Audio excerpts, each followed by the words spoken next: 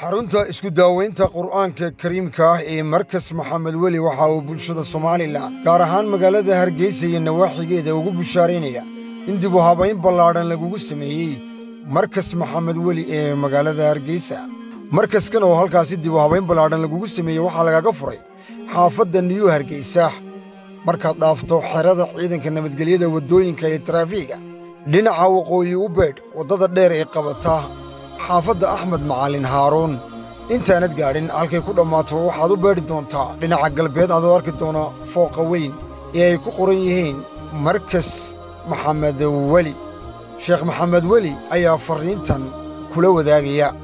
Anigoo ah sheekh maxamed weli ahna mas'uulka markaska maxamed weli.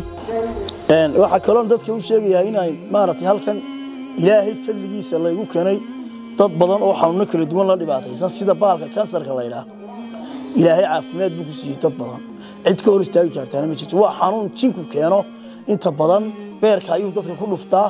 Waxa weeye dhakhtarraday u tilmaamaan laakiin qur'aanka ilaahay wax kastuu ka daway ilaahayna uu sheegay rasuulkiisana uu sheegay.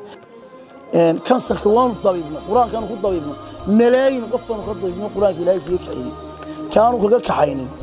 Dee ilaahay baan ka kaxay laakiin boqolkiiba boqol ciddii noo timid ee kansarka qabtay qur'aanka ilaahay iyo fadligiis iyo awooddee dheeraadkaa ilaahayna siiyey. Ayaanu kaga kaxayno bahalka sixirka laydhaana indhahan ka ridaa qofku idamka rabbi markuu saa soo hor fadhiistaba sixirkaasi uu furan yahay waana haybad ilaahayna siiyey. Laakiin waxaan u sheegay inay ka faa'idaystaan muddada aanu hawshan hayno. Weliba reer hargeysa ilaahay baa garanaya xilli aan maaragtay hargeysa intaan hawshan ka sii wadi doonno. Waanu sii shaqayn doonnaa in badan badan badan.